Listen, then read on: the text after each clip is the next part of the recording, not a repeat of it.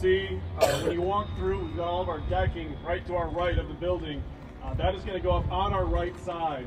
Uh, so in about a week, we'll be covered. We can start roofing materials. We can start framing. What that means, we'll have, we'll have walls, we'll have roofs that will go up. So we're going to see a huge change. I wonder if I'll what we won't see for a few more days is going to be our freight hall and our, on our auditorium we've got over here. Right, we've got to wait a little bit longer there, uh, but we will see some changes. Again, four weeks.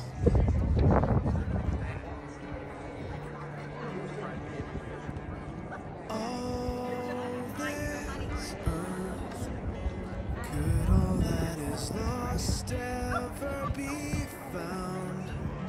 Could a garden come back from this ground?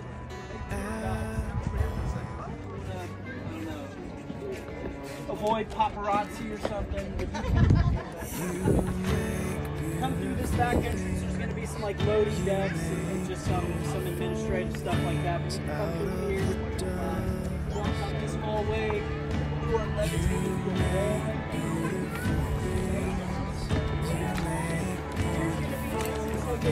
So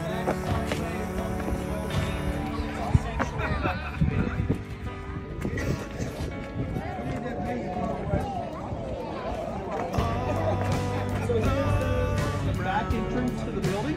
Um, there'll also be a canopy to get out of the rain, not a drive under, but a, walk under canopy. Um, this is the entrance if you, if you don't want to deal with the hustle and bustle of the lobby on a Sunday morning, you'll come through this entrance. And right around the corner, there's an entrance to the building. Follow me.